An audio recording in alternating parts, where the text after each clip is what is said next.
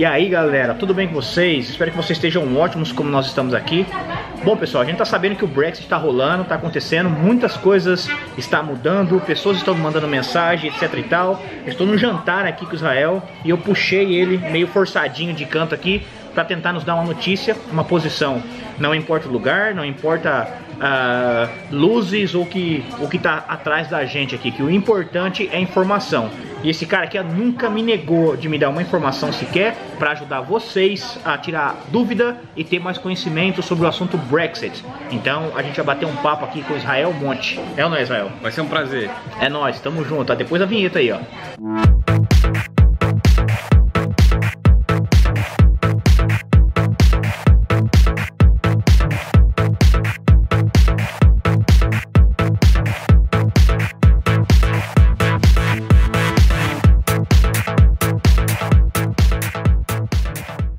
Você mora em Londres, se você está no Brasil ou você conhece alguém, por favor, compartilhe esse vídeo, joga nas redes aí, porque é uma coisa muito importante que vocês vão ter que correr atrás, né? Saiu um teste piloto que o Reino Unido vai ter que fazer para todos, para todas as pessoas que têm o, o family member and so and so forth, etc e tal, vai ter que fazer isso. Entendeu? Eu vou perguntar para o Israel aqui, o Israel vai esclarecer um pouquinho a minha dúvida e também a sua então, para você que está vindo morar no Reino Unido e vive no Reino Unido, você que não é europeu, mas você depende do, euro, do europeu para viver aqui, isso é muito importante para você. O assunto é tão complexo, esse negócio de imigração, que eu sempre cheguei e contratei o trabalho desse cara aqui, para não ter dor de cabeça. E você não seria bobo se você estivesse fazendo o mesmo, porque é complexo demais. Israel, o que que tá pegando? Obrigado, Rodrigão, pela oportunidade de novamente estar aqui com você e ajudando a, a nossos conterrâneos brasileiros a, a passar informações, a gente ajudar a educar, a gente ajudar as pessoas a conseguirem conquistar o direito de viver aqui, que é tão almejado por, por, por tanta muitos, né? gente. Sim, né? exatamente. Então, um, o que acontece? Eu ouvi falar muito de Brexit e todos estão todos cientes de que no dia 29 de março do ano que vem vai haver a ruptura.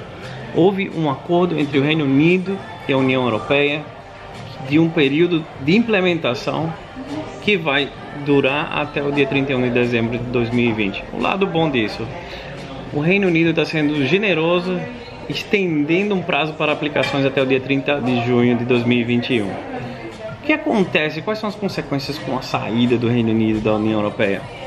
Até a nomenclatura dos vistos irá mudar. Não só a nomenclatura, como vai haver uma uma reforma completa com relação à, documentação. O que acontece? Os vistos que antigamente a gente eram, hoje ainda é conhecido como Residence Card, ou eh, Permanent Residence Card, ou Registration Certificate, ou Certificate um, um, Documentation Confirming Permanent Residence. Todas esses, essas nomenclaturas eles vão mudar para dois tipos de nomenclaturas apenas. Vai ser o Pre-Settled e o Settled. Um, Pre-settled states nada mais é do que o antigo, ainda o, o, presente no momento, porque isso vai mudar em breve. É o, é o Residence Card, que é o visto, por exemplo, a pessoa acabou de adquirir uma residência de 5 anos, então é um visto temporário que você só vai conseguir o permanente no quinto ano. Um, ele vai se chamar de pre-settled. Então ele é o, é o, antes do settled. Um, em UK hoje a nomenclatura para os vistos, por exemplo, de esposo, esposa, é chamado de leave to remain. E quem tem o permanente, que é depois de 5 anos de casado, por exemplo, como britânico, tem o indefinite leave to remain. O que é que eles estão fazendo para os europeus? Eles estão trocando nomenclatura. Para quem tem o visto inicial, não tem 5 anos ainda aqui, vai ser o pre-settled status. Eles vão ter que trocar o visto para isso. Para quem já está 5 anos ou mais, vai pegar o settled status, que é equivalente a ter um visto permanente. É, o governo vai abrir o, o, o, período da mudança das aplicações, que sim, as pessoas vão, vão aplicar agora para esse sistema novo. Esse sistema novo ele vai estar totalmente aberto, totalmente implementado a partir do dia 20, até o dia 29 de março. Então, antes eles estão fazendo uns testes, estão fazendo umas experiências para ver se está funcionando bem, como é que como é que está sendo o resultado, como é que está sendo o feedback das pessoas que estão sentindo, como é que se estão se está sendo fácil, se está sendo complicado, para poder é como um teste para ver se vai valer a pena ser aberto para o país inteiro. Então, vai estar tá aberto para o país inteiro até o dia 29 de março, isso a gente tem ciência. Porém, é, eles vão abrir isso inicialmente a partir de no, 1 de novembro até 21 de dezembro desse ano e de forma gradual. Eles vão abrir inicialmente para hospitais, para universidades e para organizações que trabalham com health e social care no Reino Unido. Isso, isso, isso assim, querendo colocar um adendo assim, é para que essas, essas categorias de trabalho do Reino Unido seria para não quebrar o país, né? É, existem, existem umas notícias que vazam é, do gabinete do governo que a gente fica sabendo que é bem intrigante com relação a tem um no deal no Brexit, tem deal no Brexit, o que é que acontece se houver um no deal? Será que o, esse período de implementação vai desaparecer do mapa e ninguém vai ter o direito de aplicar para visto nenhum? Será que é melhor? Então abrem várias indagações, então a gente se pergunta, seria melhor já ter meu direito garantido antes do dia 29 de março? O que é que vocês acham sobre isso? Então, os testes pilotos vão começar em breve. Se tudo der certo, vai ser ampliado para a nação inteira aplicar.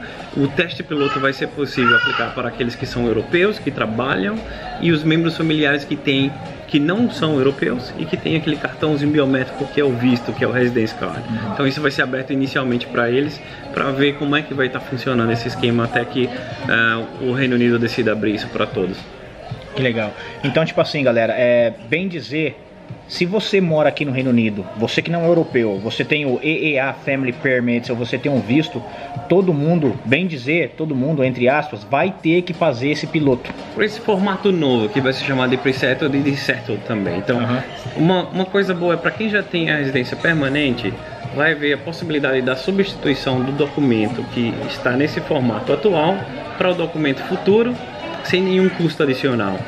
Então o Reino Unido está ajudando isso, ele também está ajudando que crianças passam a, passem a pagar apenas 50% do valor que é hoje pago eh, indiscriminadamente para adultos e menores. Um, tem certas coisas que eles estão facilitando com relação ao tipo da aplicação, a forma como você vai, vai provar sua identidade, é, etc. Então está ficando um sistema muito mais moderno, mais eletrônico, mais uh, simplificado é, o que está sendo propagado. Vamos ver quando isso estiver na prática que a gente conseguir ter contato com pessoas que participaram desse esquema. É, infelizmente vai começar pelo noroeste da Inglaterra para depois se expandir. Bom, e se der tudo certo, eles vão implementar isso no restante do país, aí todos vão ficar sabendo como vai poder fazer. Então, pessoal, para simplificar, aqui falar para vocês, todos, todos nós que temos aquele visto de 5 anos e etc e tal, and so and so forth, a gente vai ter que aplicar para esse é, modelo piloto que o Reino Unido está fazendo, entendeu? Então, para mais informações, eu vou deixar aqui o e-mail e o contato do Israel na descrição desse vídeo, entendeu? Você marca um apontamento, vai lá, conversa com Israel, explica a sua situação para você saber exatamente o que está acontecendo. É uma coisa séria, pessoal. A gente não pode deixar essas coisas para última hora, porque já pensou se você perde a oportunidade, a oportunidade e a liberdade de continuar vivendo aqui, ter no seu trabalho, a sua família e etc e tal. E para você também que está no Brasil e quer saber de como vai ficar a sua, a sua situação estando aí, vindo para cá, vou deixar aqui na descrição o contato do Israel e vocês entram em contato com o consultório dele. Às vezes não é nem ele que vai responder, porque ele tem tantas pessoas que trabalham com ele. E quando você graças manda um e-mail, quando vocês mandam um e-mail para esse cara aqui, o doutor Kelly, e eles não respondem, mano, não pensa que você é o único. A gente tem que colocar na situação de que o mundo não gira em torno da gente. Então tem mais pessoas também que quer saber da mesma situação. Então não entra em pânico. É bom você esperar, ter um pouquinho de paciência. Nessas horas é difícil ter paciência, mas se você quer ter um profissional à altura, correndo atrás das suas coisas, é por isso que eu sempre contratei o trabalho dele, ele sabe disso. É por causa disso, porque eu não quero ter problema, não quero ter dor de cabeça. Ah, mas o meu visto voltou, vou ter que reaplicar. Como é que fala no processo? Você tem que fazer de novo?